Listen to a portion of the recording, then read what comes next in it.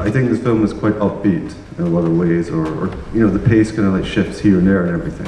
Uh, I think an interesting thing about that is the director herself, who's, you know, she was born in Beijing, but then she was brought up in New York, uh, worked for, uh, worked as a journalist in America before going back to China to make this film. So I think there's kind of a, quite a lot of a cultural mix in there.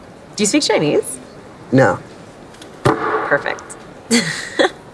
I mean, Chinese film industry keeps growing. I mean, it's kind of a bubble that's. Uh, yeah, we'll see how long it actually keeps going for. I mean, a lot of, at the moment you are seeing like a lot of drop-offs, I guess, and uh, audiences and revenues. So, you know, I mean, it'll probably still overtake Hollywood at some point, but it's you know, I, for an independent, you know, for some of the independent stuff which I'm interested in. It's been a lot of changes over the last couple of decades, but. Um, you know, the film, you know, Dead Pigs Tonight is kind of representative of this kind of newer wave of fairly expensive Chinese indie films, which have backings for stuff. So it's, I don't know, it's like any film industry, to be honest. It, it's mm. still finding different ways to mature and grow, and some parts of it take, you know, they go faster, some go slower. So.